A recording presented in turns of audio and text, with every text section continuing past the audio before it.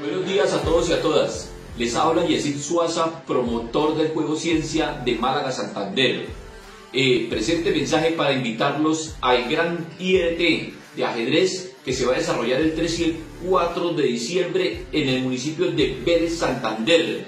Excelente premiación, la mejor del país. Nos vemos en 15 días.